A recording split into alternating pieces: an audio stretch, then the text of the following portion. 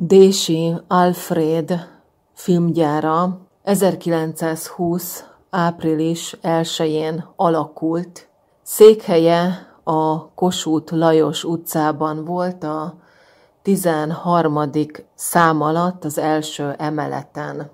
Tulajdonosa és a főrendező természetesen Dési Alfred volt, aki Alfred Kempf Dezsi névvel is alkotott, főként külföldön. Nagyon szeretnék róla sokat beszélni, mesélni, mert úgy érzem, hogy az eddigi életemet nagyon erősen meghatározta, és remélem, hogy a továbbiakat is. Nagyon sok mindennel foglalkozott ő nem csak egy zseniális és egy nagyon termékeny filmrendező volt, hanem legelőször is színész, aztán producer, forgatókönyvíró, mozitulajdonos, igazgató, filmgyáros, zeneszerző, és annak idején, még fiatalabb korában dolgozott cirkuszban is, fellépett a porondon. Van egy nagyon fontos önéletrajzi írása, aminek az a címe, hogy Porondon, deszkán, mozivásznon. Elkezdtem olvasni ezt a művet, rengeteg gondolat ismerős számomra, és talán egyszer azt is elárulom, hogy miért. Én úgy érzem, hogy Dési Alfred lelke, szellemisége folyamatosan bennem diktált. Gyerekkorom óta miképpen éreztem az aurámban egy férfi filmrendezőt, és pontosan meg tudtam azt mondani, hogy milyen volt, hogyan öltözködött, és milyen munkái, alkotásai voltak. Nem mellesleg Dési Alfred Tatán is rengeteget forgatott a vizek a tavak városában, Komárom-Esztergom megyében, ahol én is éltem tíz évig, és én is rengeteget forgattam. Többek között egy nagyon hasonló városfilmet, amelyet ő is rendezett. Rengeteg hasonlóság volt és van köztünk, amelyeket fokozatosan szeretnék feltárni, ugyanis azt tervezem, hogy az elkövetkezőkben vele fogok foglalkozni. Szerencsére találtam róla korabeli fotókat, dokumentumokat, hát felvételeket sajnos nem igazán, hiszen rengeteg film elveszett, pedig nagyon szívesen megnézném, a korábbi rendezéseit, sőt, nagyon szívesen ott lettem volna vele. Én úgy érzem, hogy kiválasztottam volna őt, és munkatársként, vagy akár társként jelen lehettem volna az életében, bár az is lehet, hogy ez így volt, hiszen tudjuk azt, hogy az ember nem csupán egyszerölt testet. Persze szerintem az is nagyon jó kérdés, hogy ki mivel foglalkozott a korábbi életében, megnyilvánulásában. De ahogyan mondtam egyelőre, nem szeretnék több titkot elárulni, Erről a jelenségről és érzésről ma mindenképpen az ő alkotásairól szeretnék beszélni, a filmjeiről, ugyanakkor a szerepeiről a hangos film által. Van egy ilyen oldal és portál, nagyon sok információt kaphatunk arra nézve, hogy ő hogyan dolgozott, hogyan működött, például az 1910-es, vagy akár a 20-as években. Persze tudjuk nagyon jól, hogy ő később is nagyon sok filmet rendezett, és idősebb korában is szerepelt különböző filmekben. Ezeket próbálom most föllelni.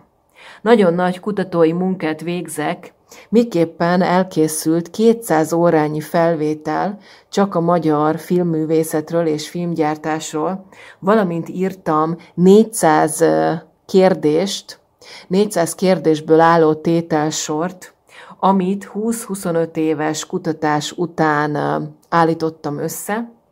Mindegyik kérdést és tételt fejből írtam, ugyanakkor hát azt is tudjuk, hogy én mindig fejből beszélek, improvizálva. De én úgy érzem, hogy ez még csak a kezdet.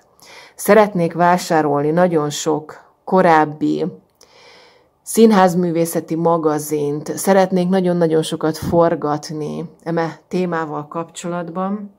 Fokozatosan tárom föl azt, hogy a korábbi hazai filmgyártás, filmművészet milyen csodálatos alkotásokkal és alkotókkal volt jelen.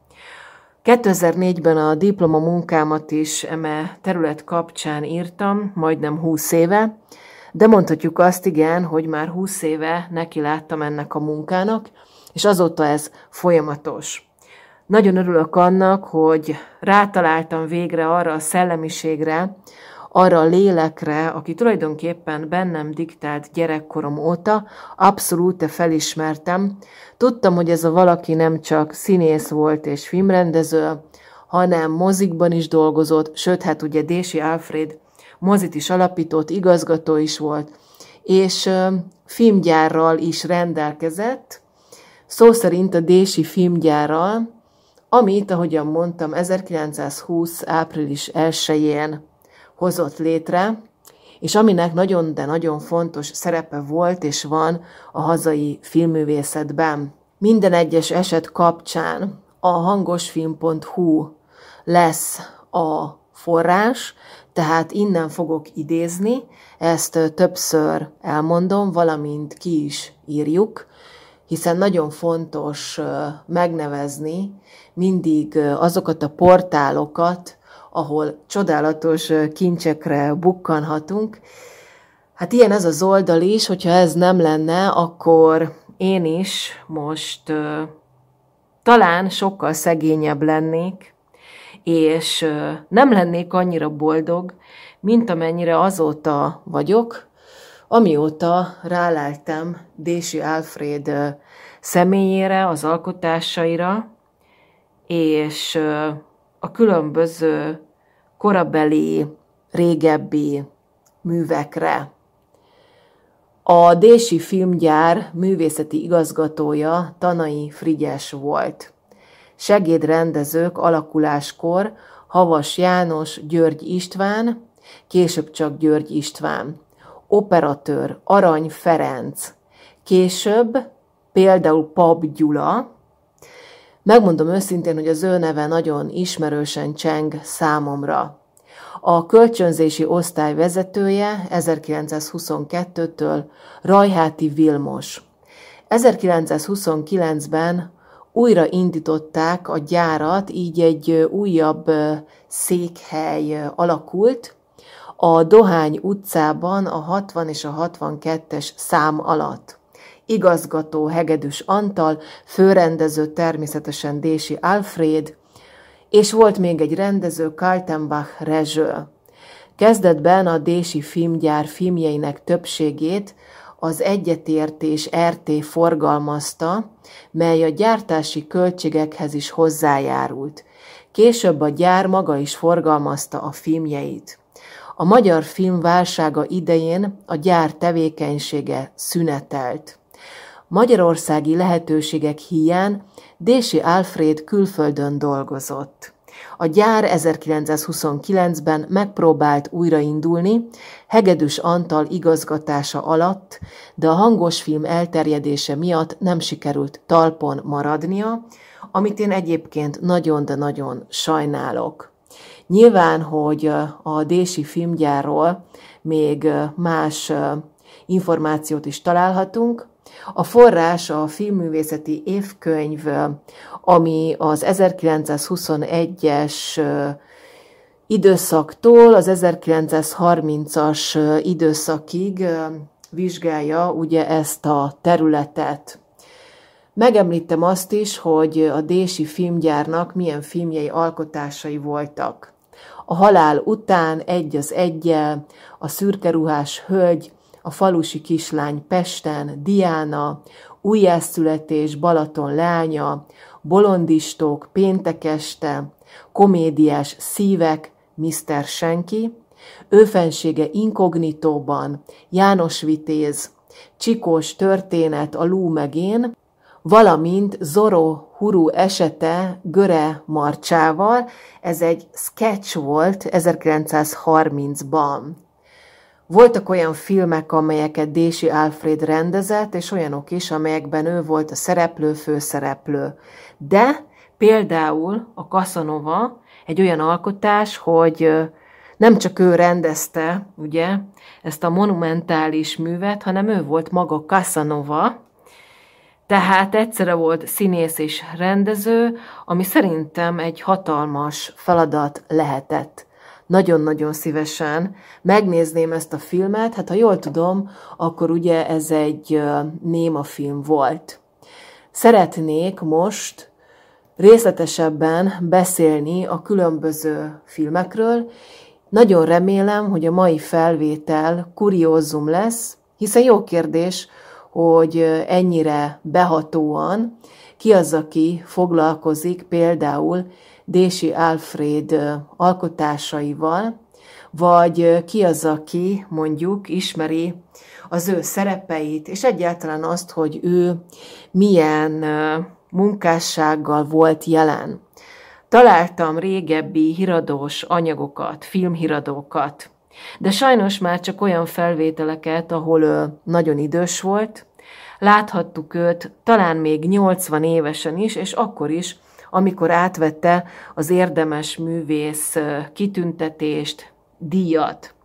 Én úgy láttam, hogy sajnos ő csak ezt az egyetlen egy kitüntetést kapta, holott szerintem sokkal több díjat kellett volna odaítélni számára, majd én ezt most megteszem eme felvétel kapcsán, és azáltal, hogy én nagyon, de nagyon elismerem az ő munkásságát, hiszen azért száz évvel ezelőtt különböző filmeket leforgatni, biztos, hogy nem volt egy egyszerű történet. Teljesen más technikai eszközök voltak. Egyrészt a kamerák is sokkal nehezebbek voltak. Én úgy gondolom, hogy ők nagyon sokat cipekedtek, és az utazás is sokkal bonyolultabb és hosszadalmasabb lehetett, mint ma. Én már az 1990-es években is forgattam különböző filmeket, interjúkat, és azt kell tudni, hogy már akkor is igazából sokkal nehezebb kamerák, technikai eszközök, állványok, lámpák voltak, mint például ma, én 1996-ban vagy 97-ben kerültem a helyi televíziós stúdióba, és már akkor kijártam különböző forgatásokra, persze akkor még csak megfigyelőként, mert akkor én még csak gimnazista voltam, de már 16-17 évesen megírtam az első forgatókönyvemet, hát az is lehet, hogy nagyon sok mindent megörököltem Dési Alfred szellemiségéből, vagy szellemisége által, amiről majd szintén fogok még később beszélni. Lesz egy olyan előadás, ami kifejezetten arról fog szólni, hogy milyen hasonlóságokat találtam a kettejünk vállalása, missziója közt. Tehát igen, arról kell beszélni, hogy mi például a 90-es évek végén még a beta vagy beta rendszerrel dolgoztunk, és ezek a kamerák nyilván sokkal nehezebbek voltak. Akkor még kazettákra forgattunk, hát ezek a kazetták egészen nagy méretűek voltak, és akkor én még dolgoztam ugye divi technikával is, ami már egy picit úgymond könnyedebb volt, és kisebbek voltak a kazetták, maga a magnó is, és talán a kamera sem volt annyira nehéz, hát a beta vagy a beta kamerák, én betának nevezem, nagyon-nagyon nehezek voltak, bár én azokat is cipeltem, ugyanakkor a statívokat, a lámpákat, a különböző felszereléseket, de hát nyilván, hogy mondjuk 50 vagy 100 évvel ezelőtt ezek az eszközök még nehezebbek lehettek, vagy mondjuk azt, hogy monumentálisabbak, és ahogyan mondtam, szerintem sokkal nehezebben tudtak eljutni A-ból B-be, hiszen akkor még nem voltak olyan autók, amelyek ma amelyek nagyon nagy sebességgel is tudnak ugye működni, és haladni. Ugyanakkor nem voltak autópályák, és sorolhatnám azokat a nehézségeket, amelyek által biztos, hogy sokkal nehezebb lehetett egy-egy filmet létrehozni, nem mellesleg, hát ugye akkor csak filmre dolgozhattak, és filmre dolgozni sokkal nehezebb. Én fotóztam filmre például. Teljesen más, mint a digitális technika. Ezeket a filmeket ugye elő kell hívni, nagyítani kell, nem mellesleg. Analóg technikával vágni sem egy egyszerű történet, hát ott nem igazán lehet hibázni, vagy ha hibázik az ember, nagyon nehéz kijavítani. A digitális technikák által egy-egy ilyen hiba sokkal gyorsabban és könnyebben javítható, és hogyha például a fényképezésről beszélünk, akkor amíg mondjuk én csak 24 vagy 36 kockát fényképezhettem el, ugye egy-egy filmtekercs által, és akkor hát nagyon sokszor ugye cserélgetni kellett ezeket a filmtekercseket, hogyha több képet akartam készíteni. Na most hát tudjuk nagyon jól, hogy egy digitális géppel akár több ezer kockát is ellőhetünk. Egyszer dolgoztam egy esküvőn, mint fotós. Jó kérdés, hogy pontosan mennyit fényképeztem. Hát az is lehet, hogy nagyjából ezer képet lőttem el. Persze abból nem mindegyik lett jó, de utána nyilván, hogy a különböző képszerkesztőkkel ezeket a fotókat tudtam javítani, átalakítani, szerkeszteni és szebbé jobbá tenni, de a filmes technika kapcsán ez egy sokkal nehezebb és bonyolultabb történet. Úgyhogy én leemelem a kalapomat, vagy akár a cilinderemet Dési Alfred előtt, én nagyon-nagyon szerettem őt, így utólag, és azt is mondhatnám, hogy látatlanul. Mégis, ahogyan mondtam, mindig önmagamban éreztem az ő lelkét, a lényét. Ő folyamatosan diktált bennem, csak nem tudtam megnevezni azt, hogy ki ez az illető. Ma, 40 évvel később, rájöttem arra, hogy ki az, aki nagyon erősen meghatározta az én munkáimat, miképpen például a Pódium című televíziós műsoromat, ami egy művészeti műsor, magazin volt, és ami által nagyon-nagyon hasonló dolgokról beszéltem, nagyon hasonló alkotásokat mutattam be, amelyekkel például Dési Alfred is élt, amilyen műveket létrehozott, amilyen Tulajdonképpen az ő szellemisége. Még nem olvastam végig az önéletrajzi írását, de úgy érzem, minthogyha nagyon sokszor én is ott lettem volna a különböző eseményeken, helyszíneken, mintha a lelke bennem rezegne, mintha érezném az érzelmeit, a gondolatait, a fájdalmait, az örömeit, nagyon erősen kötődöm hozzá, ezért úgy döntöttem, hogy több felvétel is születik róla, miképpen a 400 kérdésből álló tételsorban már ugye öt is megemlítettem, és ezáltal egészítettem ki a korábbi 365 kérdésből álló cikkemet, mert ahogyan mondtam, felfedeztem valakit, aki egy nagyon termékeny alkotó volt, ugyanakkor szerintem profi. Tehát azt kell kijelenteni, hogy én azt gondolom, hogy Dési Alfred egy nagyon profi alkotó volt, mind rendezőként, mind színészként és producerként, forgatókönyvíróként. Nagyon szívesen megörökölném a forgatókönyveit, és az ő erekjéit. Jó kérdés, hogy ezekkel mi van, majd utána fogunk nézni. És természetesen, ahogyan mondtam, nagyon sok mindenről fogok beszélni vele kapcsolatban, és megpróbálok mindent átadni, ami róla még föllelhető. Kérdezzük meg azt, hogy ma ki az, aki például vele foglalkozik, az ő korábbi filmjeivel, a színészetével, vagy a filmgyárával, amiről ugye már előbb beszéltem, És meg kell említeni azt, hogy ő zeneszerzőként is dolgozott. Ami szintén nagyon érdekes, mert én ezt is éreztem. Én úgy gondolom, hogy igazából mindent. Éreztem ezt a férfi szellemiséget az aurámban, gyerekkorom óta, de nem tudtam megnevezni, és nem találtam őt kívül. Ez azért is van, mert én nem nyúltam ennyire vissza. Dési Alfred 1877-ben született. És ahogy mondtam, ugye főként az 1910-es, 20-as években tűnt fel, például a mozivásznon, hát sokkal korábban nem is tűnhetett volna föl, hiszen hát a, a filmgyártás akkor még ugye nagyon-nagyon fiatal volt, és hát ugye akkor terjedt még csak el az 1900-as évek végétől, mondjuk így, vagy hát inkább ugye a tízes éveket kell ide venni.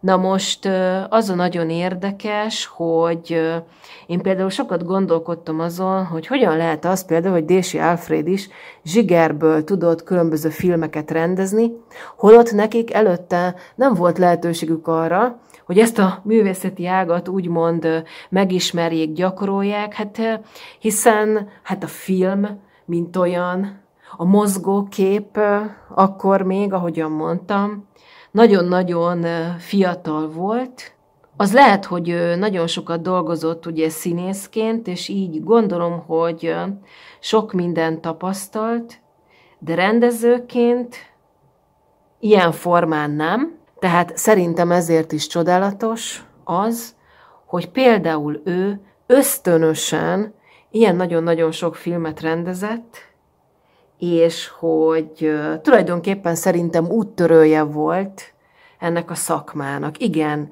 én azt gondolom, hogy ezt nyugodtan kimondhatjuk.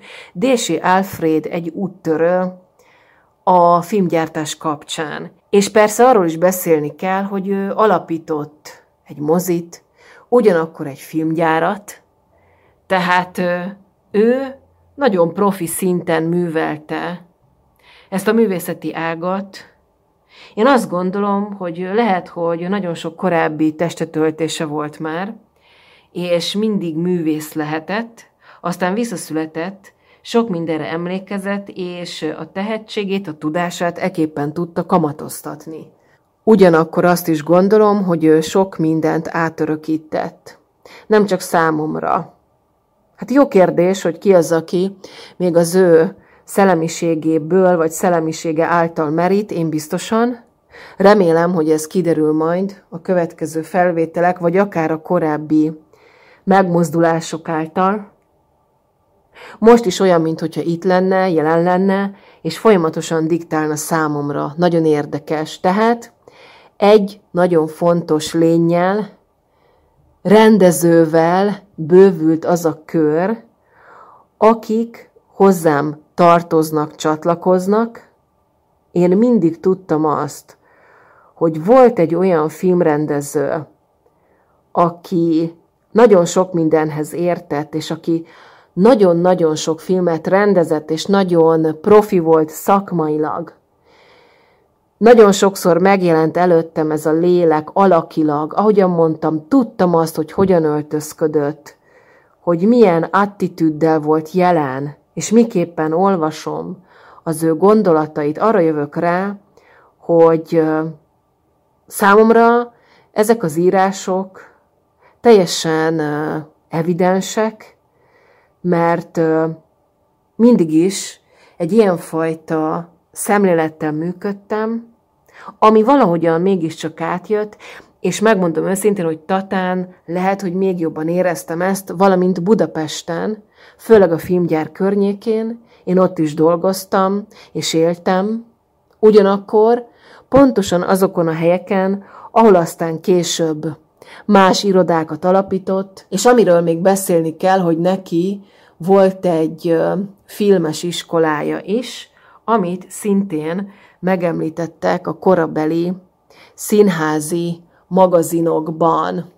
Már elkezdtem ezt a gyűjtői munkát, és nagyon sok olyan plakátot is találtam, ahol az ő neve hatalmas betűkkel volt kiírva, mint rendező, és mint színész, közben megtaláltam a Mozi című filmművészeti heti lap 1920-as számát, ára egy korona volt. Ez a szeptember 25-i rész, ötödik évfolyam második szám. Itt említik meg azt, hogy filmszínész iskolája volt Dési Alfrednek, és le is írták a címet, Kossuth Lajos utca 11, 13, hát itt azt írják, hogy második emelet. És azt is megtudhatjuk, hogy Dési Alfred 1920-ban már filmrendező volt, 21-ben pedig filmgyárt tulajdonos. Találtam olyan dokumentumokat, amelyek tulajdonképpen olyanok, mint a cégjegyzékek. Dési Alfred, mint a Dési Film Budapest cég képviselője. Fantasztikus! Én imádom őt, az biztos, és szerintem ez a szeretet még jobban el fog mélyülni, miképpen folyamatosan tárom föl azt, hogy neki milyen alkotásai voltak, hogy mennyi mindenben vett részt. Igen, hát ő egy nagyon-nagyon termékeny alkotó volt, már gyerekkora óta, hiszen nagyon fiatalon úgymond elszökött otthonról, és vándor színész lett belőle, de dolgozott cirkuszban is. Ugyanakkor ő egy erőművész is volt, nagyon magas volt, hát szerintem egy csodálatos férfi, és remélem, hogy tudok majd róla különböző fotókat megmutatni, természetesen forrás megjelöléssel. Azt hiszem, hogy legelőször a Cigány című népszínműről fogok beszélni, ami egy 1941-es alkotás, rendezője Dési Alfred, írója Szigligeti Ede, a színmű írója, viszont a forgatókönyvet szintén Dési Alfred írta, szerezte, rendező asszisztens Zéri Géza. A dalszöveget Radics Jenő írta, a technikai stáb Kerti Lajos operatőr, Kereszti Ervin hangmérnök, Katonka László vágó, Bercsényi Tibor díszlettervező, Horváth Jenő felvételvezető, Kandó Gyula ügyelő, és beszéljünk még Pálházi Gyuláról, aki álló fényképész volt. A produkciós stáb Erdélyi Filmgyártó Kft. mint gyártó, Kárpát Filmkereskedelmi Kft. mint forgalmazó, dr. Erdélyi István producer, és dr. Katona Jenő gyártásvezető. Szerintem egészen elképesztő ez az adatlap. Nagyon jó benne egyébként kutatni. A forgatásra 1941. júliusában és augusztusában került sor. Az első bemutató 1941. november 25-én volt az Omina és a City Filmszínházban. Hát sajnálom, hogy nem voltam ott, bár az is lehet, hogy ott voltam, csak más alakban. De nem áruljuk el még, hogy milyenben. Oké, okay. gyártási és bemutatási adatok. Magyar Filmiroda RT, mint műterem és laboratórium, Kodak nyersanyagra dolgoztak, pulvári hangrendszerrel. Külső forgatási helyszínek Visegrád, Acsa, Tata tóváros, ahol én is éltem tíz évig, és ahol szintén nagyon sokat forgattam, három-négy évig, ugyanakkor rengeteg felvételt, fotót készítettem. A női főszereplőnek, Zimonyi Mártának ez volt az egyetlen filmszerepe. A rendező Dési Alfred egy Víg színházi előadás szünetében kérte fel Rózsi szerepének eljátszására. A filmnek a korabeli sajtó nagy sikert jósolt. Dési Alfred csak azzal a feltétellel írta meg a forgatókönyvet az erdélyi filmgyártó számára, ha ő maga rendezheti a filmet. Teljesen egyetértek vele, én is így cselekedtem volna. A forgatókönyv borítólapja szerint a filmet eredetileg Hegyi Barna fényképezte volna. Én nagyon szeretem Hegyi Barna alkotásait, róla is már sokat beszéltem a korábbi felvételek kapcsán. A filmben játszott Gábor Miklós, aki ekkor még nagyon fiatal volt. És akkor van még egy nagyon fontos információ, amit mindenképpen szeretnék megemlíteni.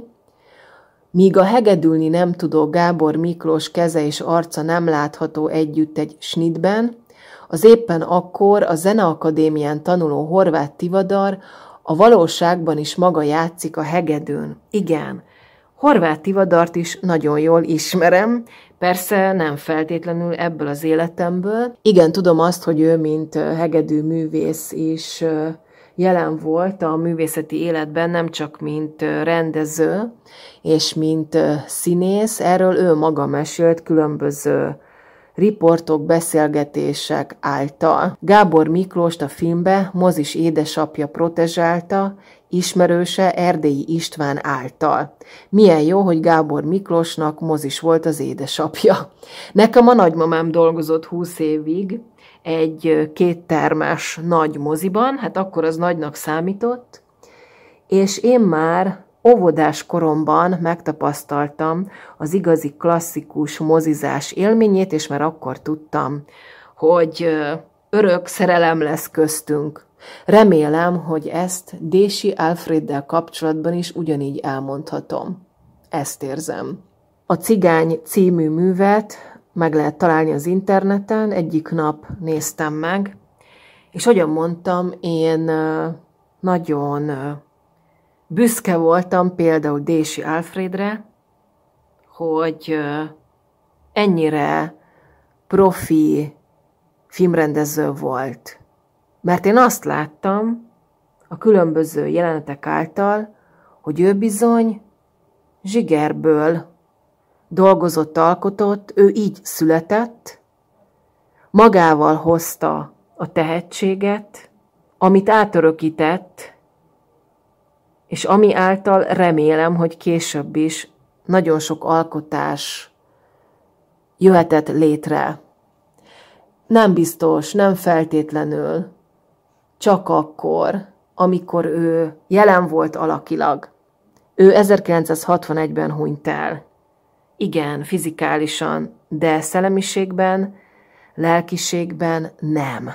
Az energiákat, a lényét ma is lehet érezni, és talán, vagy remélem, hogy azáltal még jobban, hogy én újra föléleztem, mint ahogyan azokat az alkotókat, akikről nagyon sokat beszéltem, például Latinovics Zoltánról, Horváth Teri színművésznőről, Pálos Györgyről, Gobbi Hildáról, vagy Gábor Miklósról, Vaséváról, sorolhatnám a neveket. Nagyon-nagyon sok művészt alapul vettem, nagyon sok művészről beszéltem órákig, napokig, hetekig. Igen, nagyon fontosak ők nekem, de arról kell beszélni, hogy több száz alkotót ismerek eképpen, hát azt is mondhatnám, hogy én is zsigerből, és az emlékezetem által. Ugye milyen érdekes? A Csábító című film egy társadalmi dráma volt, 1918-as alkotás, rendezője Dési Alfred. Jó kérdés, hogy ki az, aki ismeri ezt a történetet, és hát az is, hogy vajon ez a néma film fent maradt-e, de rögtön látom azt, igen, hogy itt megemlítik, hogy sajnos a kópia nem maradt fönn. Ez egy hatalmas veszteség. 35 mm-es filmre forgatták, négy felvonásos volt, és a hossza pedig állítólag 1587 méter. Ugye, hogy mennyivel másabb lehetett például egy-egy ilyen filmforgatás? Igen, Dési Alfred nagyon sok néma filmet rendezett, amelyekből természetesen többet megemlítek. Például a Falusi kislány Pesten című drámát, ami egy 1920-as alkotás. Rendezője Dési Alfred. A női főszereplője Hollai Kamilla, akivel szerintem ő sokat dolgozott, producere szintén Dési Alfred volt, a gyártó cég a Dési Filmgyár, a forgalmazó az Egyetértés Filmvállalat RT, operatőre Arany Ferenc, a kópia nem maradt fönn, és legelőször csak a 16 éven felüli nézők láthatták ezt az alkotást. A Gyerekasszony című 1921-es vígjátéknak is Dési Alfred volt a rendezője, ugyanakkor a forgatókönyv írója. Operatőre Pap Gyula. Szereplője a női Hollai Kamilla, de ugyanakkor Dési Alfred is szerepelt benne, mint Carnero gróf. Sajnos nem maradt róla felvétel, fotó, nagyon sajnálom, nagyon megnéztem volna ebben a szerepében is, de ez a néma film sem maradt fönt, öt felvonásos volt, eredeti hossza 2351 méter. Igen, mondtam, hogy Dési Alfred Hollai Kamillával többször forgatott. Emeljük ki a Halál után című bűnügyi drámát, ami szintén egy 1920-as alkotás, rendezője Dési Alfred, forgatókönyv író Kis Jenő, szereplője Hollai Kamilla, a női főszereplő, Említsük meg Lázár Gidát például, vagy Ditrói Mort, az operatőre Arany Ferenc volt, producere Dési Alfred, a Dési filmgyár volt a gyártó cég, és szintén az egyetértés volt a forgalmazó cég. Forgatás 1920 május.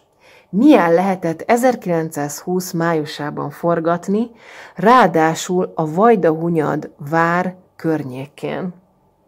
Komolyan mondom, hogy én ezt éreztem, mert én is forgattam ezen a környéken, és amikor én például Pesten éltem, Pesten dolgoztam, egy filmes cégnél, illetve több filmes cégnél is dolgoztam, többek közt ugye a Muffinben is, akkor szintén éreztem ezt a férfi szellemiséget, valószínű, hogy akkor őt. Igen, tehát a nyomai nagyon érdekes, hogy úgymond megmaradtak. A nyom itt a szellemiséget és a lelket jelöli számomra. A Hadi Kölcsön egy propaganda film volt 1917-ben. Rendezője Dési Alfred. A Star volt a gyártócég, aminek ő a főrendezője volt. Ugyanakkor a forgalmazó cég is a Star volt, és 1917. december 3-án a mozgókép otthonban volt a bemutató. Komolyan mondom, hogy én visszacsöppennék az időben, és elmennék a mozgókép otthonba, és megnézném ezt a bemutatót 1917-ben, és nagyon szívesen találkoznék Dési Alfreddel. Sajnos ez a kópia sem maradt fönn. Néma filmről kell beszélni, egy felvonásos volt, eredeti hossza 350 méter, és 35 mm-es filmre forgatták. Jó, itt találtam egy korabeli plakátot, megpróbálom megkeresni Dési nevét, a Star Filmgyár és Filmkereskedelmi RT a Terész körút 12-es vagy 13-as szám alatt volt. Itt van egy telefonszám 114 84, nagyon nehezen lehet elolvasni. Vígjáték egy felvonásban, és azt is kiírták, hogy hány méteres a film, a plakáton ez rajta van, hogy 350 méter. Hát ma már ilyet ugye nem írnak ki sehol, hiszen hát egy-egy filmforgatás nyilván már nem eképpen zajlik. Beszélni kell mindenképpen a Karthouse-ról, amelynek Dési Alfred szintén szereplője volt, operatőre Zsitkovszki Béla, ezt mindenképpen meg kellett említenem. Igen, hát ugye Zsitkovszki Béla volt az egyik alkotója a legelső filmnek, a táncnak, amit ugye 1901-ben készítettek, az Uránia tetején, többek közt, ugye? Na most a gyártó cég a Star filmgyár volt, a Kino Report adta a műtermet és a laboratóriumi munkálatokat, mármint helyszínként, a forgalmazó cég szintén a Star filmgyár volt, és ahogyan mondtam, igen, a sajtó bemutató 1916-ban volt a mozgókép otthonban. Elképesztő. Elképesztő. És itt láthatunk különböző korabeli fotókat Dési Alfredről, hát ő egy nagyon sármos, fiatal ember volt, nagyon jó vágású, nem csodálom azt, hogy ő zsákszámra kapta a különböző névtelen szerelmes leveleket, erről ő maga írt az önéletrajzi írásába, és azt is leírta, hogy ezeket a szerelmes leveleket mindig hazaküldte anyukájának, hogy ne unatkozzon, és hogy elolvassa őket, de biztos vagyok benne, hogy nagyon sok vidámságot, örömöt, ugyanakkor talán könnyeket is csalhatott a szemébe. Ez a nagyon sok írás, levél, megkeresés, hiszen Dési Alfred után azt is mondhatnám, hogy nagyon sokáig kapkodtak a nők. Hát erről ő maga mesélt. És akkor rögtön ide kell venni a János Vitéz című filmet, ami egy irodalmi adaptáció 1916-ból, és aminek Dési Alfred volt a főszereplője, vagyis ő testesítette meg akkor annak idején János Vitézt. Iluska Hollai Kamilla volt. Itt láthatóak a különböző gyártási és bemutatási adatok, valamint a hangosfilm.hu weboldalon több fotót is láthatunk Dési Alfredről, mint János Vitézről. Szerintem vannak olyan képek, amelyek kapcsán nem feltétlenül ismerhették őt föl. Én többet is találtam, tehát érdemes egyébként megnézni és kutatni. Az adatok kapcsán arra derül fény, hogy a Kino Report, valamint a Star volt a gyártó cég.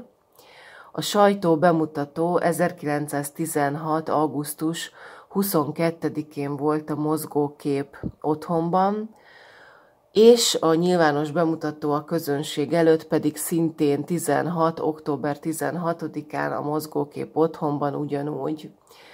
A külső forgatási helyszínek kapcsán megjelölték Visegrádot, méghozzá a patak jelenetnél, bár én azt gondolom, hogy sokkal több külső helyszín lehetett. Nagyon sok különlegessége volt, van ennek a filmnek. Ez volt a sztár első filmje, ami biztosította a gyár jövőjét. Egyes források szerint a költségvetés 130 ezer korona volt, a felvételeket öt operatőr készítette, ami szerintem nagyon sok, és a filmben 6000 statiszta közreműködött. 6000 statiszta. Hát 6000 szereplőt biztos, hogy nem lehetett egyszerű mozgatni, irányítani, és fontos azt elmondani, hogy a film rendezője Illés Jenő volt, ugyanakkor ő írta a forgató könyvet. Zene Kacsó Pongrác, és hát tudjuk nagyon jól, hogy magát az elbeszélő költeményt Petőfi Sándor írta 1845-ben. Érdemes megnézni a szereposztást is, valamint azt, hogy még miket írtak ugye erről a filmről. Azt írják, hogy a film kópiájából csak egy rövid részlet maradt fönt, néma film volt, eredeti hossza 2000 méter, ami szintén soknak számított.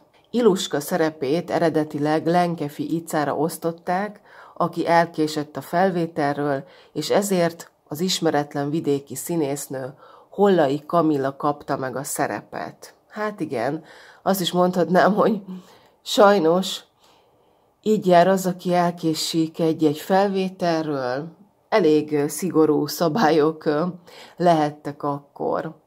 A felvételeken részt vett az operaház egész balettkara, szerepelt az összes táncos nő, körülbelül olyan 360-an. Nagyon sokan játszhattak eme filmben. Eme alkotásban a mesés elemek megjelenítéséhez filmtrükköket alkalmaztak. Ezt azért nagyon fontos megjegyezni, mert 1916-ban járunk, ugye, gondolatilag, és hát azért 1916-ban különböző filmes trükköket eszközölni egy nagyon nagy dolognak számított szerintem annak idején. Kacsó Pongrác zenéje kísérte a filmet, amely a komponista új műve volt, mely a film jeleneteit és eseményeit követte. A film olyan sikeres lett, hogy az előállítás költségei hat hét alatt megtérültek, és a bemutató után még öt évig műsoron volt, és Dési Alfred szerint még Amerikába is kijutott.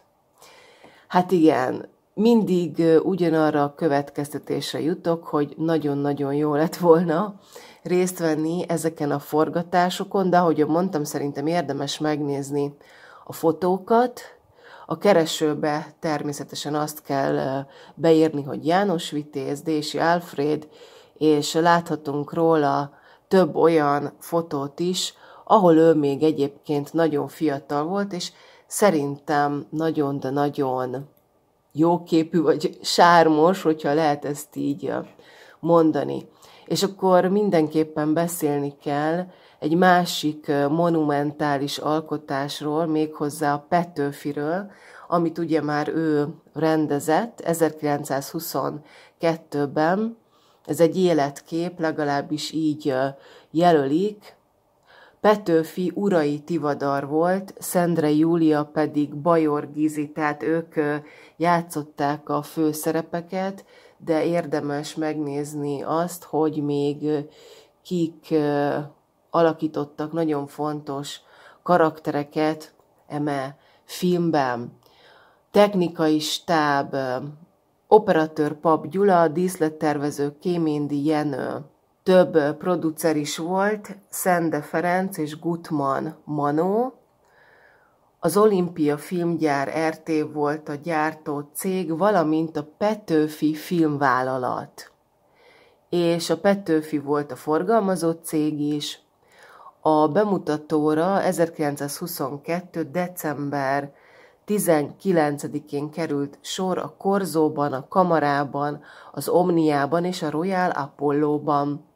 Forgatási helyszínek, a külső helyszínekről beszélek, Nemzeti Múzeum előtt, Hüvösvölgyben, Aszódon és Debrecenben. A galériában láthatunk különböző felvételeket, fotókat, itt van előttem például Urai Tivadar még nagyon fiatalon, 1922-ben például egy debreceni jelenet kapcsán. Több érdekességet is találtam, például azt, hogy a filmet kötelező volt a moziknak műsorra tűzni. Én ezt teljesen megértem, és nagyon örülök neki. A Segesvári csata impozáns tömegjeleneteit a Hüvös völgyben tízezer statisztával, katonákkal forgatták. Tízezer statisztával.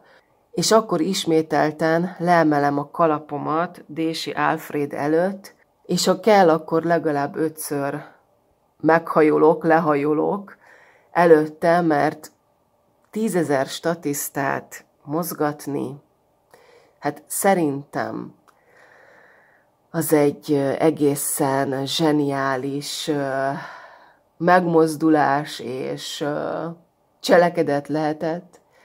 Biztos vagyok benne, hogy Dési Alfred az egyik legprofibb rendezőnek számított, és szerintem, hogyha élne, akkor ez a mai napra is ugyanígy lenne elmondható, sőt, láttam egyszer egy olyan felvételt, ami által azt mutatták be, hogy akkor abban az időben ő volt a legidősebb magyar filmrendező, de azt elfelejtették hozzátenni, amit én nagyon sokszor megemlítek, hogy a legprofibb is.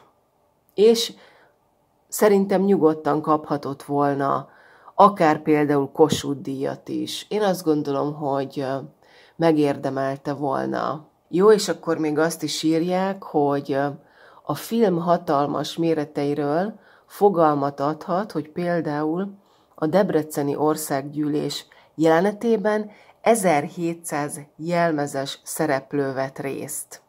1700 jelmezes szereplő. Rengetegen voltak, rengetegen dolgoztak eme filmes forgatás kapcsán, és a kópia nem maradt fönn. Hát ennél nagyobb tragédiát nem is nagyon lehet elképzelni. Egyes források szerint hét, más források szerint négy felvonásos volt. 2692 méter. És akkor van még egy film, ami szintén szerintem kuriózumnak számít, aztán majd megyünk tovább, méghozzá a Triton, ami kapcsán nagyon sok érdekességet találtam, ezt is ugye Dési Alfred rendezte. 1917-ben ez egy fantasztikus történet volt, szerintem mindenféle szempontból. A gyártó és a forgalmazó cég a Star filmgyár volt, és azt írják, hogy a felvételek az Adria leghangulatosabb és legszebb tájain, Abbáziában, Fiumében és környékén készültek az első világháború idején a hadügy minisztérium külön engedélyével.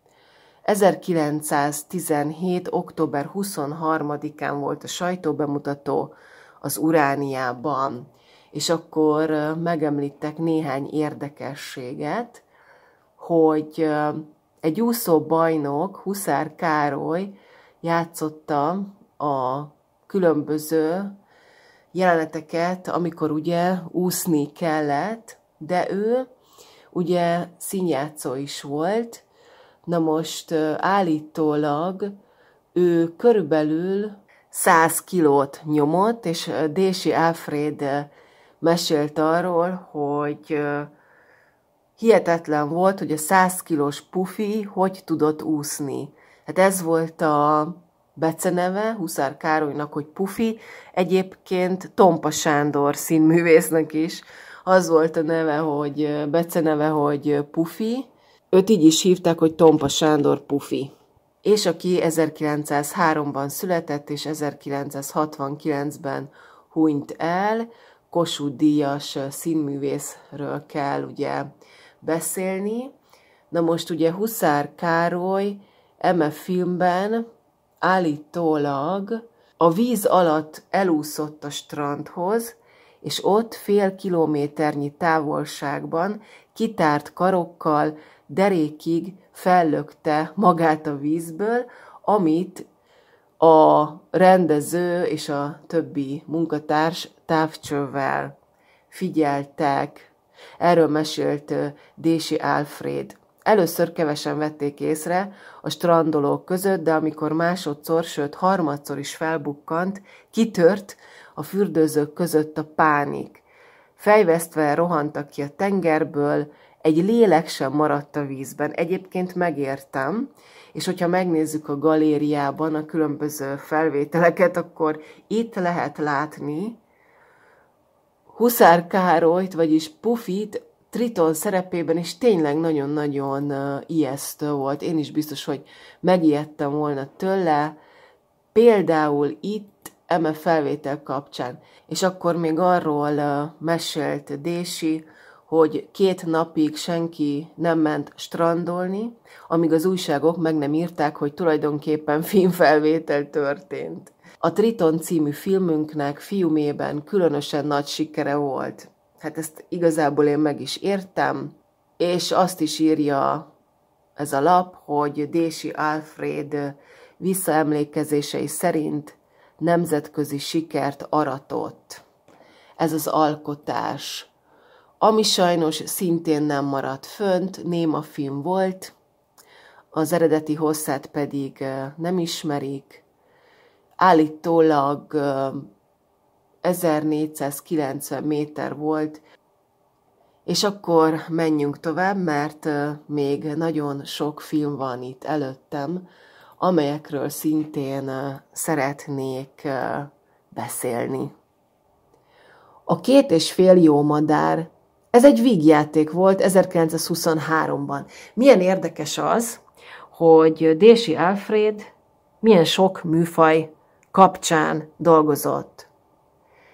Ő volt a rendező, a forgatókönyv író. Meg kell említeni Unger Leider Mort, mint producert. Nagyon fontos az ő nevét ugye kiemelni. És beszéljünk a gyártási adatokról. A Phoenix volt a gyártócég, igen. Na most jó kérdés, hogy ez a kópia fent maradt-e, vagy sem, hát sajnos nem. Öt felvonásos volt, néma film, hossza 2243 méter. Hát a galériában két fotót találok, elvileg az egyiken ott van Dési Alfred,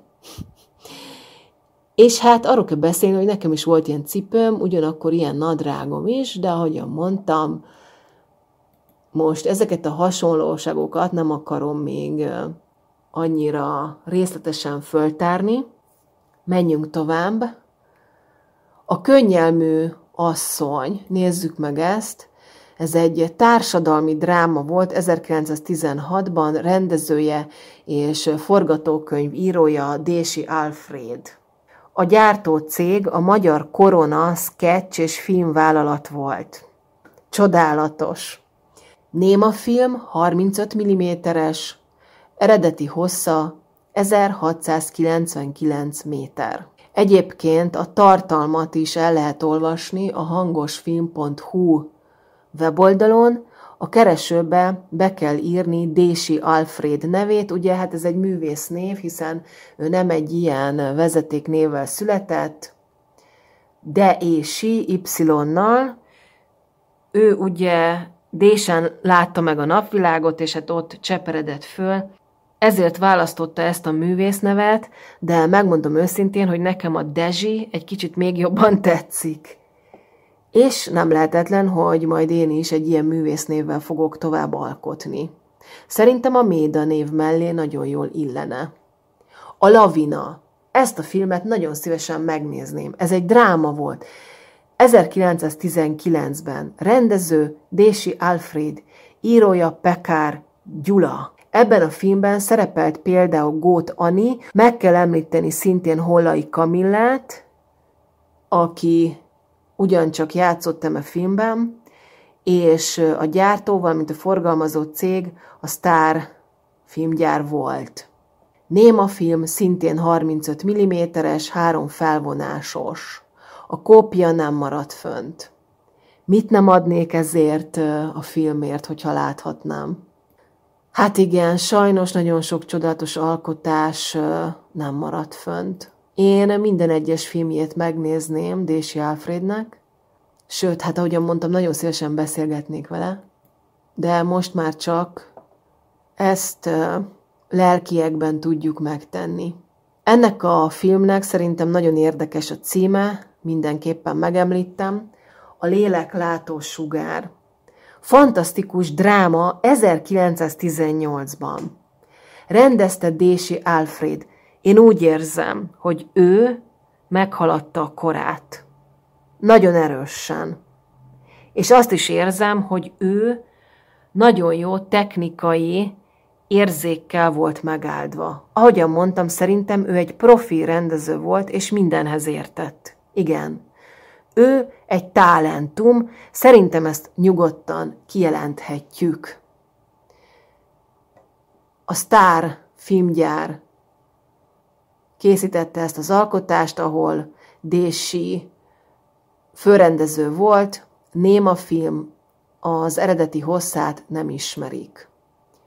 A lélek látó sugár. Hát, szerintem én nagyon erősen kitöltekeznék, ha láthatnám ezeket a filmeket, és úgy érzem, mintha abszolút a helyemre kerülnék általuk. És lehet, hogy minden egyes kérdésemre választ találnék, amelyeket gyerekkorom óta magamban hordozok. A mostoha egy dráma volt. 1919-ben. A gyártó cég Dési Alfred filmgyára. Ugyanakkor az egyetértés, Dési volt a rendező és a producer. Szerintem ő rengeteget dolgozott. Lehet, hogy ő is csak aludni járt haza, miképpen én, amikor televíziós műsorkészítő és rendező voltam, mert én több száz riportfilmet, forgatást rendeztem. Sajnos ez a kópia sem maradt fönt, de azt megtudjuk, hogy négy felvonásos némafilm volt 1200 méterrel a háta mögött. Sajnálom, hogy ezeket a filmeket nem tudták valahogyan megmenteni. Nagyon szegények lettünk ezáltal szerintem. A Nagy Úr. Vígjáték 1917-ben. Rendező Dési Alfred. Két felvonásos volt, 630 méter. Több szakmai bemutatót is tartottak már ebben az időben, Biztos, hogy fantasztikus lehetett egy ilyen találkozón részt venni. Jó kérdés, hogy miről zajlott az eszmecsere, hogy egy ilyen szakmai találkozó mennyiben volt másabb száz évvel ezelőtt, mint ma. Vannak sejtéseim.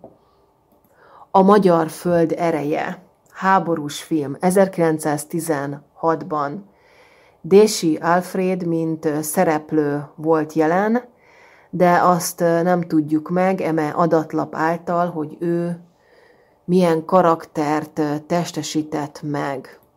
A film kópiája nem maradt fönn. Ennek sem, és nem ismerik az eredeti méter hosszát. A magyar föld ereje. Hát azt is mondhatnám, hogy biztos, hogy ez egy dráma volt, és a drámák szerintem mindig jók. A magyar alkotók, a magyarok nagyon-nagyon jók a drámában, és főleg a filmdrámákról kell beszélni, de én nem is tudtam azt, hogy például az 1910-es években ennyi dráma készült. Azt tudtam, hogy az 50-es években igen, főleg, és a 60-as és a 70-es években, de ahogyan mondtam, én ideig nem nyúltam vissza.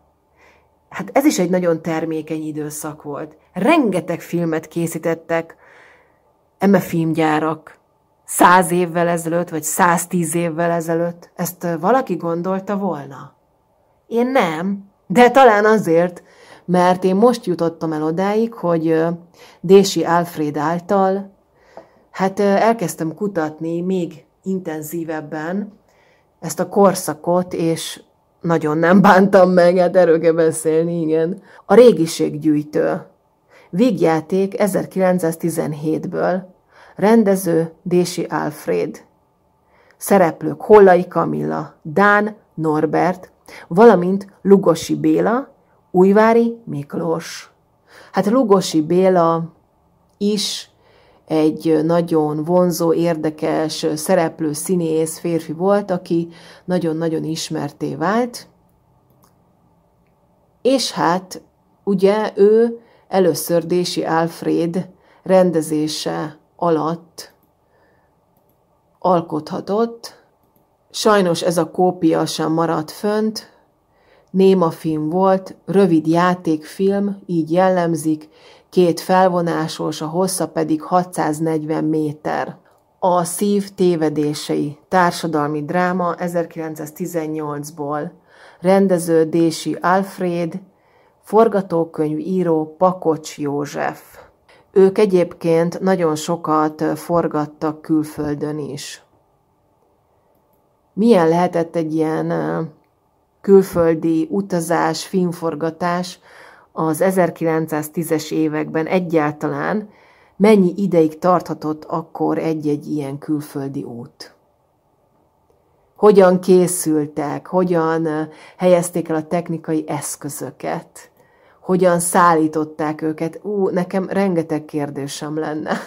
És mondjuk a rendező, hogyan érezte magát az utazások kapcsán, min gondolkodott. Szívesen belebújnék a bőrébe. A szív tévedései néma film, négy felvonásos, és elvileg 1590 méteres. Azt írják, hogy egy két perces töredék megmaradt a vándori összeállításban. Két perc. Hát az nem túl sok, de annak is van értéke. Higgyük el, két perc kapcsán is nagyon sok mindenre lehet rájönni. Álarcos bál.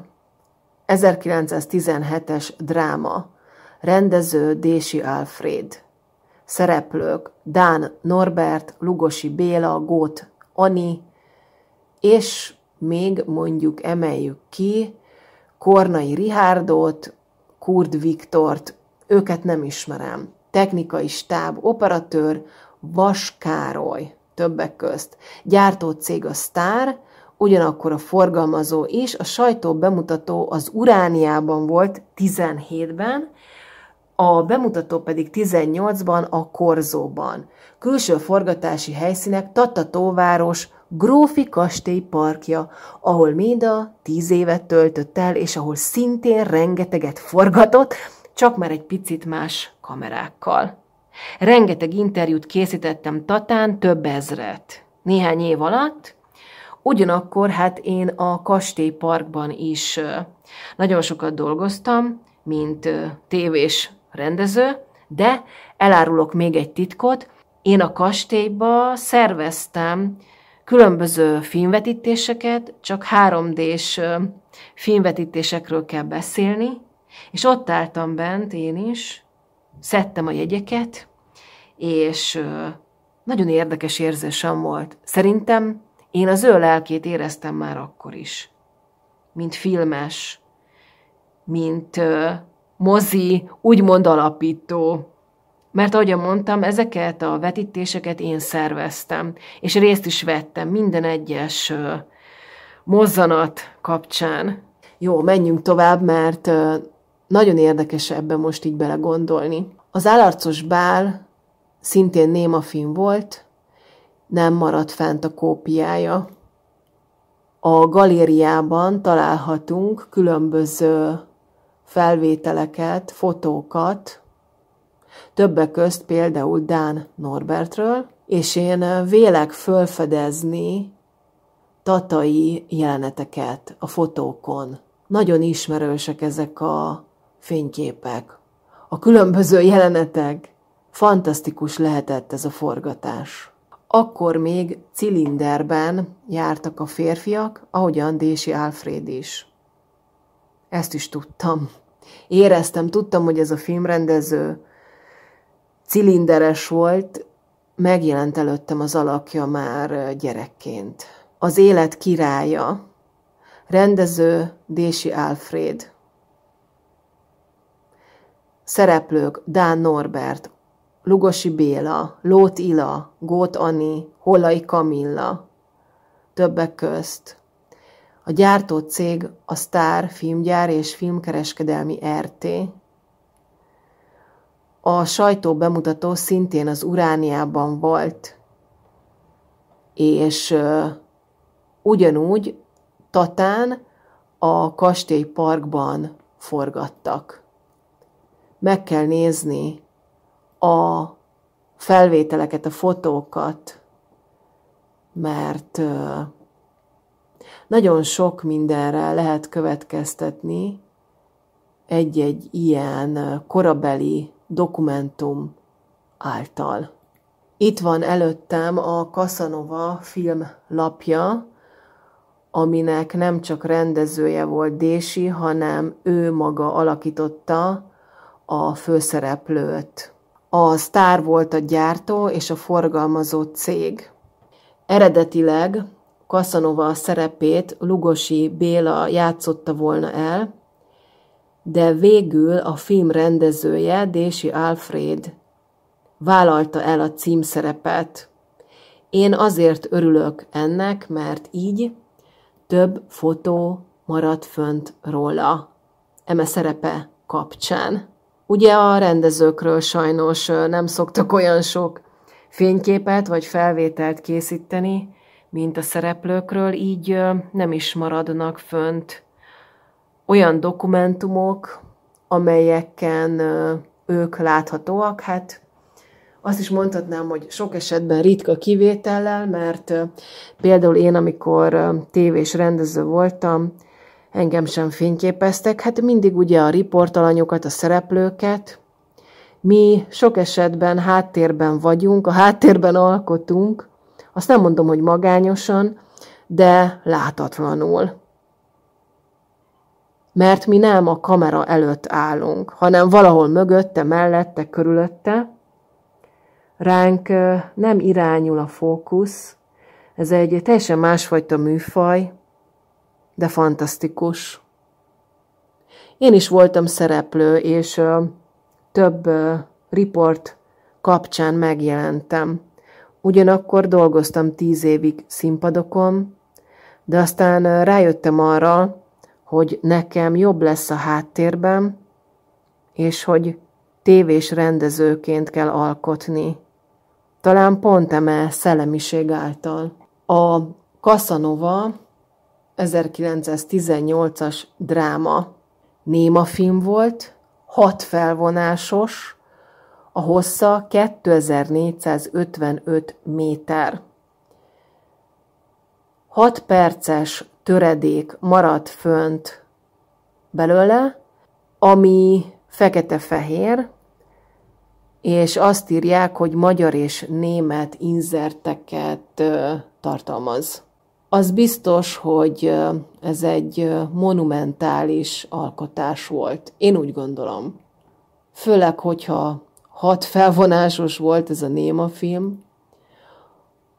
És hát ugye ezt Dési Alfred, mint főszereplő végig játszotta, ugyanakkor közben rendezett is. Hát ezért mondtam azt, hogy szerintem ő holt profi volt. Igen. Én érzem.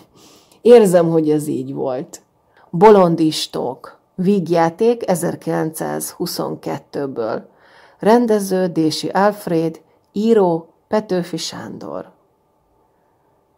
Operatőr Pap Gyula, producer szintén Dési, és az ő filmgyárában készült ez az alkotás. 1805 méter. Bemutató 1923. február 6-án a Royal Apollo-ban.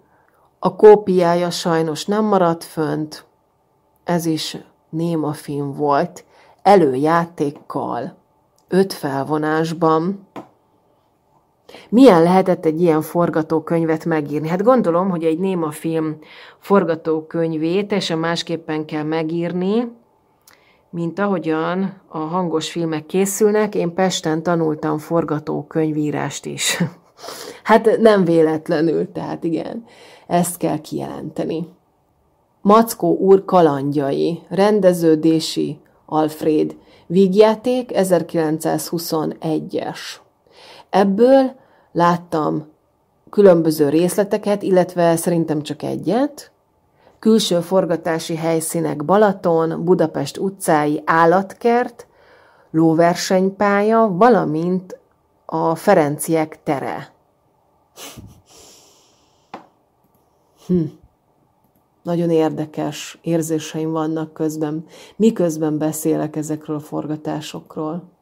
Egyébként én mindegyik helyszínen megfordultam, ugyanúgy filmesként, csak hát nem egészen száz évvel később. A Mackó úr kalandjai néma film volt hat felvonásos, és ebből maradt fönt egy részlet, amit egyébként meg lehet tekinteni az interneten. Ludas Matyi, rendező Dési Alfred. Az 1922-es változatról beszélek, irodalmi adaptáció. Ő volt a forgatókönyv író is, operatőr Pap Gyula. Pap Gyulával is nagyon sokat forgatott. A kópia nem maradt fönt. Néhány plakátot lehet találni a hangosfilm.hu weboldalon. Milyen lehetett az 1922-es Ludas Matyi Dési Alfred rendezésében. Nagyon jó egyébként visszarévedni, és kutatni ebben a szellemi mintázatban. Próbálok különböző képeket így valahogyan visszacsalni. A Mona Vannáról mindenképpen beszélni kell, mert ebben Dési Alfred főszereplő volt, és eme szerepe kapcsán láthatunk róla több fotót a hangosfilm.hu weboldalon. Ez egy 1916-os dráma volt, és az Adriai tenger sziklás partján is forgattak többek közt, valamint Szarajevóban, és Dalmácia, Ciprus és Narancs ligeteiben. Fúha! Valamint Dubrovnik Ódon épületei között. Hát jó sokat utaztak ők akkor. A kópiája nem maradt fönt. Hát én ezt nagyon sajnálom, szintén. Eredeti hossza 1700 méter. Itt vannak különböző vélemények is, amelyeket szintén érdemes elolvasni, mert alap adatként szolgálhatnak. Jó, beszéljünk például a Nász dalról, ami szintén egy dráma volt, 1917-ben rendezte Dési Alfred. Játszott benne többek közt Lugosi Béla, Peterdi Klára, őt nem ismerem még, valamint Lajtai Károly, mint zongora művész. A sztár gyártotta a filmet, Pilis hegységben és a Balaton parton forgattak, Néma film volt, négy felvonásos, 1390 méter. A názdalból láthatunk különböző fotókat az internetes oldalon, valamint korabeli plakátokat, amelyeket szerintem érdemes böngészgetni. Nagyon csodálatosak ezek a régi plakátok és korabeli cikkek, dokumentumok, akár a hirdetések, mozi ajánlók. Én nagyon szerettem őket. Gyűjtöm is ezeket a régi dokumentumokat, újságokat. Újjászületés rendező, forgatókönyvíró Dési Alfred egy amerikai novella nyomán, 1920-as dráma, szereplők Hollai Kamilla, Ditrói Mór, Haraszti Mici, Tanai Frigyes, többek között, és operatőre Arany Ferenc volt, ugyanakkor a producere is Dési volt, hiszen az ő filmgyárában, a Dési filmgyárban készült ez az alkotás. Nem maradt fönt a kópia, és igazából nincsenek is róla különböző fotók, vagy felvételek, plakátok sem. A Székely Vér, hát ez egy nagyon érdekes cím, történelmi film, 1921-22-es, rendeződési Alfred. Játszott benne többek között Kabos Gyula, Gyártó cég az Astoria, forgalmazója pedig az Atlantic Film. A bemutató a Royal Apollóban volt, és akkor nézzük meg, hogy ebből maradt-e fönt valami, sajnos semmi. Azt írják, hogy öt felvonásos játékfilmé egészítették ki ezt az alkotást, és így már 1710 méter volt. Ugye maga a kópia. Na, és azt is írják, hogy a filmet angol feliratokkal ellátva Amerikában is vetítették. Száz évvel ezelőtt, több mint száz évvel ezelőtt. Hihetetlen. Komolyan mondom, hogy én ezt nem tudtam. Nem tudtam azt, hogy Dési Alfred ennyire komoly filmrendező volt, le a kalappal előtte. Ezt már mondtam. De még sokszor elmondom. Siófoki szépségverseny. Rendező Dési Alfred, vígjáték 1917-ből. Hollai Kamilla, Nagy Teréz, Vándori Gusztáv, Bánhidi, Ilona. Ők voltak a szereplők. A gyártó és forgalmazó cég a mobil filmvállalat volt, nem hallottam még erről a vállalatról. A bemutatóra a mozgókép otthonban került sor 1917-ben, és hát értelemszerűen a külső forgatási helyszínek pedig siófokon zajlottak. Vannak korabeli fotók, érdemes őket megnézni, valamint a különböző plakátokat és a reklámokat. Nagyon-nagyon másmilyenek, mint a maiak.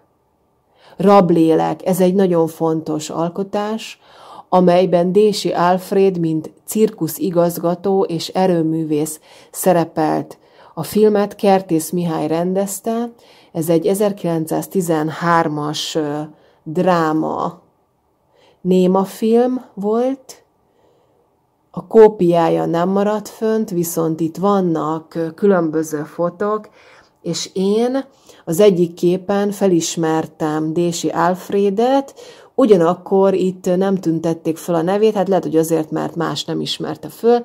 Itt áll egy hosszabb, térdigérő kabátban, pont ilyen kabáton volt, egy csikos felsőben, ugyanilyen felsőn volt, és talán a cipőm is, és a nadrágom is nagyon-nagyon hasonló, és én is szerettem volna annak idején készíteni egy olyan filmet, ami cirkuszban játszódik, nagyon hasonló elemekkel. Itt vannak korabeli plakátok, és különböző forrás megjelölések, hát amelyeket igazából fel kellene kutatni, és mindent el kellene olvasni ezekről a filmekről, de hát ez egy iszonyatosan nagy munka és vállalkozás, hát reméljük, hogy lesz még rá idő.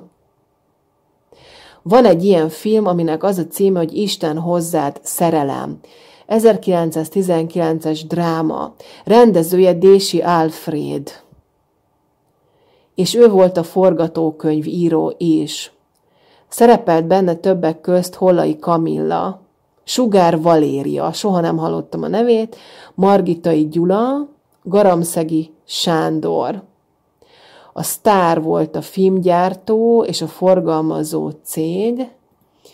Néma film, 35 mm-es, 5 felvonásos, és körülbelül 2580 méter. A kopja nem maradt fönt, bár lehet, hogy ezt már mondtam, sajnos ezt minden egyes alkalom kapcsán ugyanígy kell megemlíteni, kár, pedig nagyon jó lenne, hogyha most minden egyes filmet meg tudnánk nézni. Itt van egy tóparti jelenet, hát jó kérdés, hogy ezt hol forgatták. Az is lehet, hogy ezt is Tatán. Hát lehet. Meg kellene nézni, hogy mit írnak róla, de igazából erről azt hiszem, hogy nem találtam semmit. Igen. Azt írják, hogy betiltották, egy 1920-as cenzúra határozat kapcsán? Hát jó kérdés, hogy miért. Igen. A hűtlenségről szól ez a film, bár még nem olvastam el a tartalmát. Ki a győztes? Ez egy detektív komédia volt, 1919-ből rendezte Dési Alfred. A gyártó cég a Duna filmgyár volt. Jó sok filmgyár volt akkor, nem úgy, mint ma. Külső forgatási helyszínek Phoenix filmgyár műterme. A kópia nem maradt fönt, négy felvonásos volt, és csak egy plakáttal találkozhatunk. Nekem nagyon tetszik ez a megnevezés, hogy mozgó fénykép színház, bár egy picit hosszú és bonyolult, hát ebből lett a mozi rövidítés. A Korona mozgó fénykép színház műsora szerdán és csütörtökön május 19-én és 20-án Hollai Kamilla film, ki detektív történet öt felvonásban, Dési Alfred neve nincs itt. Azt is írják, hogy május 22-én és 23-án Emir a Csodaló című film volt a vásznon. Hát jó kérdés, hogy ez egy film volt de gondolom igen nyilván. Sehonnai, rendező Dési Alfred, ez egy dráma 1918-ból. A Star volt a gyártó és a forgalmazó cég.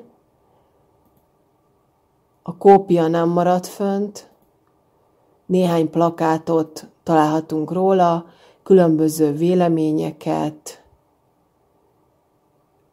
Azt írják, hogy ez volt az egyik legérdekesebb történet akkor, abban az időben, ezen filmek közt. De gondolom, hogy sok filmet tüntettek így föl, hogy úgymond becsalják a nézőket a mozgó fénykép színházakba. Az Ezüst Kecske című drámában 1916-ban Dési Alfred játszotta a minisztert. Szeretném látni ezt a filmet. Rendezte Kertész Mihály.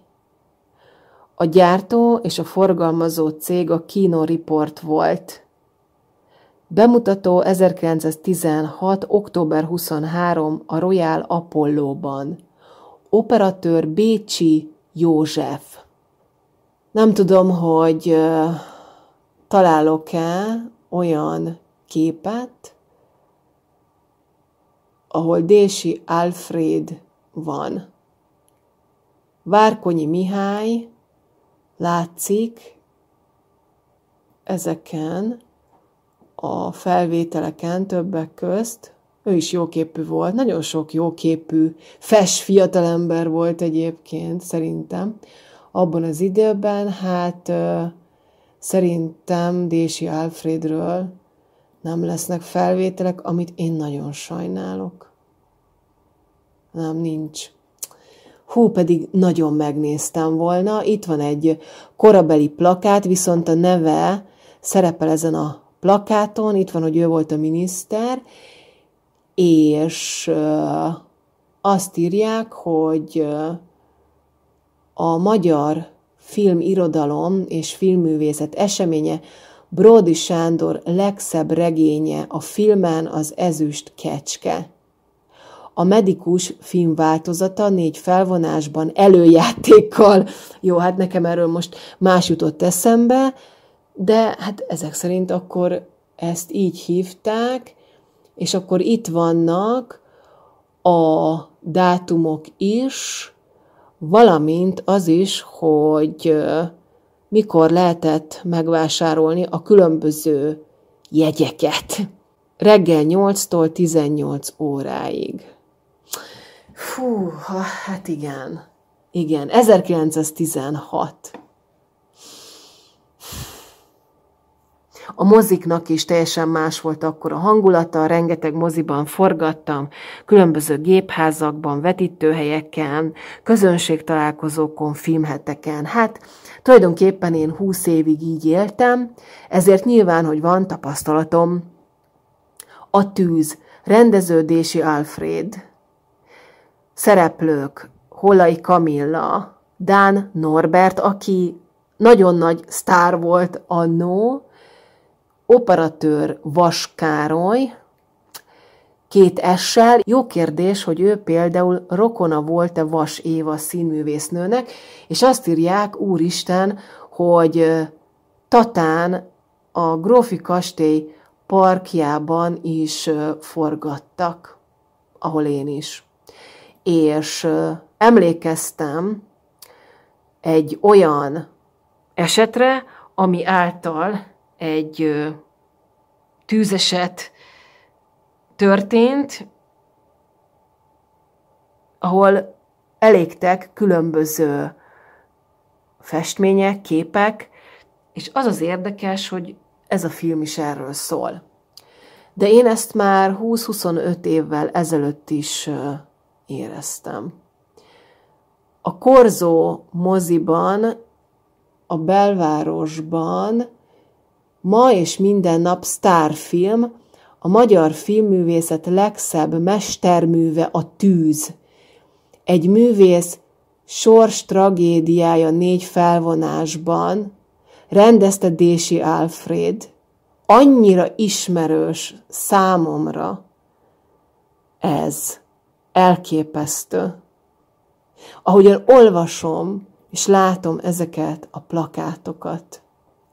Mozgó színház, a Diós Győr vasgyári munkás étteremben, ez egy fantasztikus plakát. A Jó Szerencse dal és önképzőkör folyóhó 20-án, vasárnap két mozgókép előadást rendez, délután fél hat és este nyolc órakor.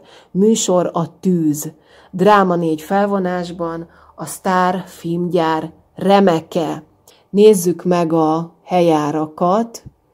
Első hely 80 fillér, második hely 40 fillér, állóhely 30 fillér, 10 éven aluli gyermekeknek első hely 40 fillér, második hely 30 fillér. Az esti előadásokon 15 éven aluli gyermekek egyáltalán nem jelenhetnek meg. Az előadások kezdete délután fél hat és este 8 órakor.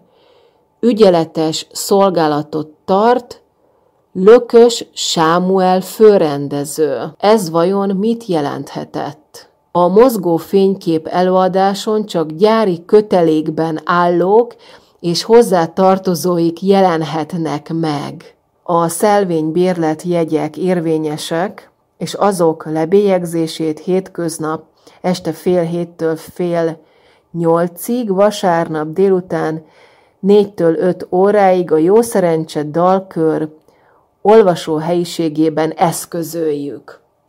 A mozgó színházi előadások jövedelmének egy része a hősök emléke felállítására szolgáló alap javára fordítatik. 1917. A tűz. Én azt hiszem, hogy ismerem ezt a filmet, pedig lehet, hogy sosem láttam, illetve lehet, hogy láttam. Csak nem ebben a formámban. De ez nem számít. Úgy érzem. Úgy érzem, azért, mert nekem van egy olyan sonda gyanúm, hogy én bizony valahogyan ott voltam. Az estéi ruha, 1917-es vígjáték rendező Dési Alfred, a Star filmgyár volt a forgalmazó és a gyártó cég.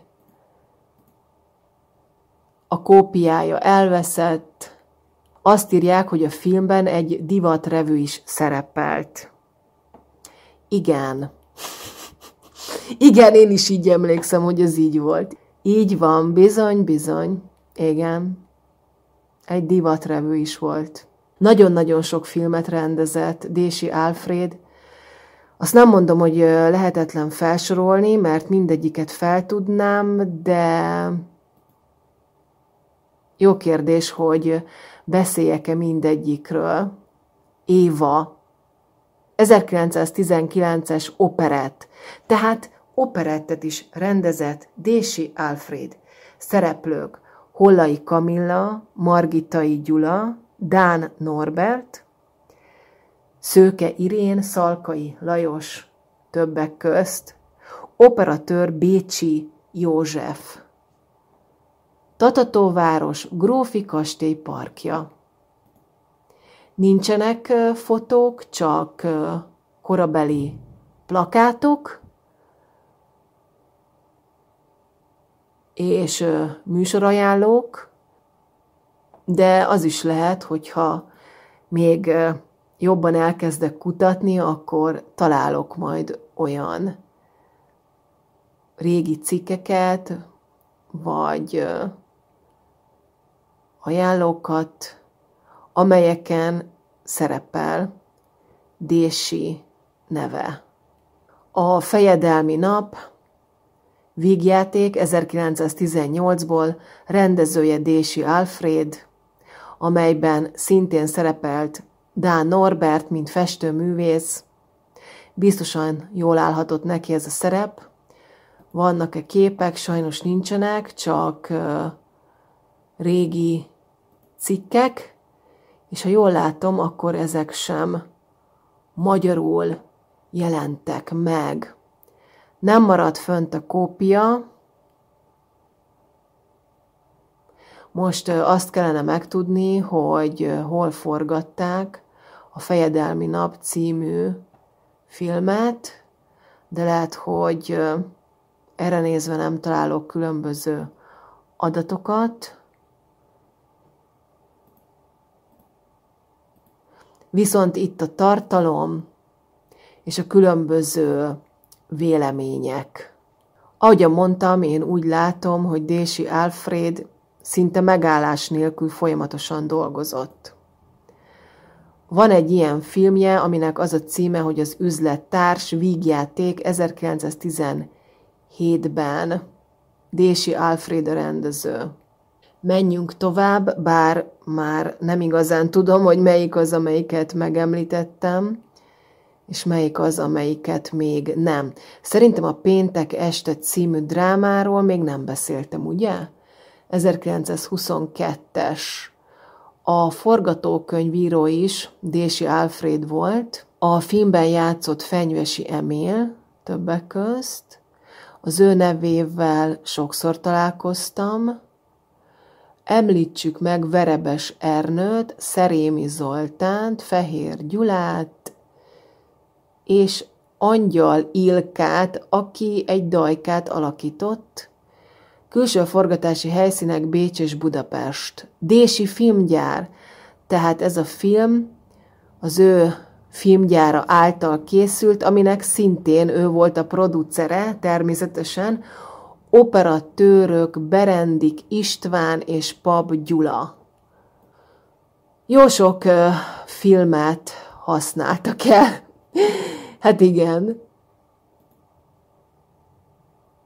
Több ezernyi méter. Tehát jó kérdés, hogy például Dési Alfred pontosan hány ezer méternyi filmet forgatott úgymond tele.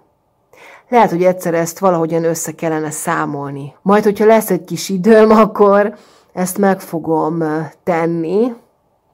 Persze, tudjuk nagyon jól, hogy csak megbecsülni lehetne ezeket az adatokat.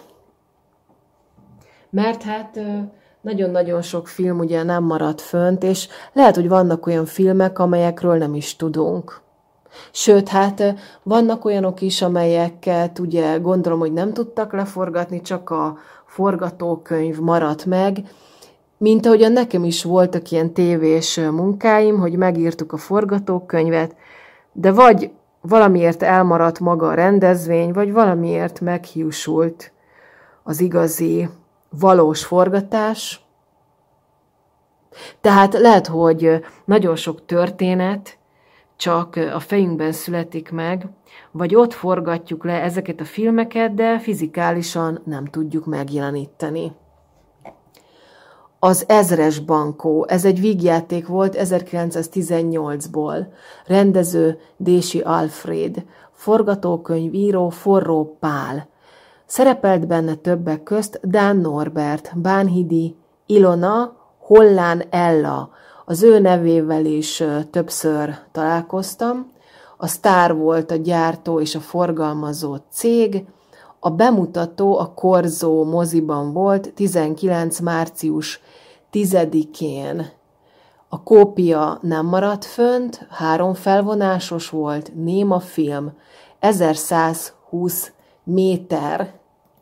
A galériában egyetlen egy műsor ajánlót találunk, és azt írják, hogy ez egy repríz kép sorozat volt.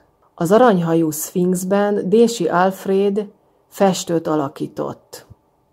Márkus Emília volt a női főszereplő, egy virágárus lány. Na, ez egy nagyon-nagyon érdekes dolog, hogy az operatőre ifjabb Uher Ödön volt, a producere pedig szintén Uher Ödön, de szerintem az idősebb. Az idősebb Uher Ödön fotóművész volt, ha jól emlékszem, igen, és akkor a fia lett operatőr és az ő filmgyáruk volt a gyártó, illetve a forgalmazó cég. Igen, erről olvastam. És hát találunk korabeli fotókat, és ahogyan látom, itt van Dési Alfred is, bár szerintem ő itt leghátul áll, nem középen, ahogyan ezt feltüntették. Én azt gondolom. De itt ő még nagyon-nagyon fiatal volt, 1914-ben. Illetve nem annyira, de itt van egy másik kép is róla, igen, Márkus Emiliával, sőt, több ilyen fotót is találtam. Tényleg olyan, mint hogyha ismerném. Esti helyárak, támlás, szék, egy korona. Első hely 80 filier, karzat 60 fillér. Hölgyek az előadás alatt kalapjukat szíveskedjenek levenni. Ez áll a plakáton. Én azt gondolom, hogy Dési Alfred miatt nagyon-nagyon sokan elmentek a különböző vetítésekre, főleg a nők. Tehát gondolom, hogy özönlöttek, mert ahogyan mondtam, nagyon jó képű volt, ugyanakkor egy nagyon tehetséges alkotó. Találtam egy másik plakátot, a nagy mozgóban volt a vetítés, Vekerle nagy mozgó, Sárkány utca 48. Haha, ez nagyon jó. Igen, azt írják, hogy Márkus Emília, a Nemzeti Színház dísze a budapesti közönség dédelgetett kedvence, a szőke csoda első fellépte a filmen, Aranyhajú Sphinx. Regény a pesti éjszakából, öt óriási felvonásban, ezeket tudom elolvasni, valamint azt, hogy a remek felvételek UR Ödön udvari fényképész nagy tehetségét dicsérik. Ez is rajta volt a plakáton. Elképesztő. Az előadások vasárnap nem lehetnek folytatólagosak, de itt ugye már egy másik műsorról beszélünk, de gondoltam, hogy ezt is megemlítem. Kérjük a pontos időben való megjelenésüket. Igen, a gyermekjegy 20 fillér volt annak idején. Nagyon jó ezeket a plakátokat böngészni. Jó, hogy fönt maradtak. Talán még a nővéreket szeretném kiemelni, ami egy dráma volt 1918-ból, rendezője Dési Alfred, a Star filmgyár által, amelyben szintén szerepel Dán Norbert, Kornai Richard, Turán, Gustav Peterdi Klára. Öt felvonásos volt, ami gondolom, hogy egy hosszabb műnek számított. Plakátokat lehet látni, Itt van Dési Alfred neve, nagyon szépen kiemelve. Ugyanakkor láthatunk itt külföldi plakátokat is. Gondolom, hogy a bécsi vetítések kapcsán, hiszen azt írják, hogy a magyarországi bemutató 1917. március 17-én volt a Korzóban, Bécsben pedig 1920. május 8-án. Hát azt is mondhatnám, hogy valamilyen szempontból ők Európa hírű művészek voltak, nem igaz? És ennek ellenére gondolom, hogy nagyon kevesen tudják, hogy én a mai felvétel kapcsán kikről meséltem. Becstelenek, 1919-es dráma, rendező Dési, Hollai Kamilla játszott benne, Vándori Gusztáv, Tanai Frigyes, Szerémi Zoltán, Margitai Gyula, többek között, és a sztár volt szintén a gyártó cég. Azt írják, hogy ez egy új magyar film attrakció volt annak idején. Az Urániában mutatták be, ami akkor még a Magyar Tudományos Színház nevet viselte. Azt is írták, hogy ez egy megrázóan izgalmas társadalmi dráma volt négy felvonásban. Az Orient mozgóban is bemutatták az Izabella utca és az Aradi utca sarkán. Egyébként itt vannak a korabeli telefonszámok is, 1920-as évről beszélünk. Az Esztergomi Korona mozi hirdetése van itt előttem, tehát a Korona mozgó színházban is levetítették ezt a filmet 1920-ban, méghozzá, hát ha jól látom, akkor áprilisban, csütörtökön és pénteken, vagyis 8-án és 9-én, de azt nem tudom, hogy pontosan melyik hónapban, ja, de itt van áprilisban. Tehát 1920. április 8-án és 9-én a Korona Mozgó Színházban levetítették Dési Alfred rendezését a becsteleneket, és a főszereplő pedig Hollai Kamilla volt. Itt még C betűvel írták a nevét. Még megnézzük a tavaszi vihart, rendező Dési Alfred, és Bécsben is bemutatták. A kópia nem maradt fönt, öt felvonásos volt, és hát jó kérdés, hogy van-e valamilyen plakát, igen, több plakát is van, szerintem itt vannak a külföldi plakátok is. Itt Dési Alfred nevét csak úgy írták, hogy Deési A. Pont. Hát nem fért ki a neve a plakáton. A Star filmgyár legújabb remeke a Korzóban, ami a belvárosban volt a Váci utca 9-es szám alatt. Egyébként itt van a Star filmgyár telefonszáma is 11484.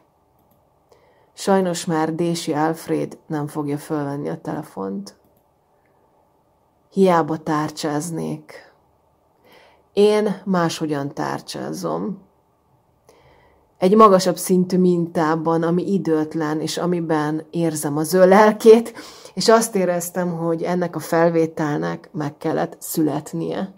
Miatta, és talán általa.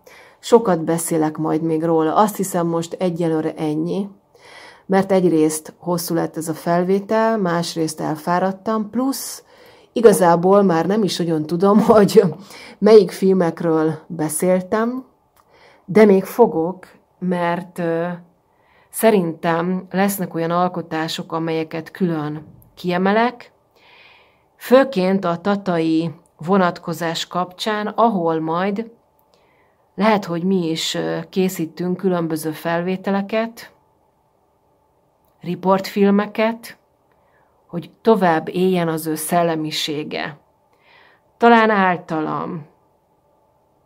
Talán azért, mert már gyerekkorom óta nagyon erősen vonzódom a filmszínházakhoz, a filmgyártáshoz, És azért, mert ekképpen megszületett 200 órányi felvétel, ugyanakkor egy 400 kérdésből álló tételsor, de fogom folytatni a sort, és az is lehet, hogy ezáltal egy magyar filmtörténészi címre teszek majd szert, ha még többet kutatok, és ha Dési Alfred szellemisége és lelke végig kísér és segít.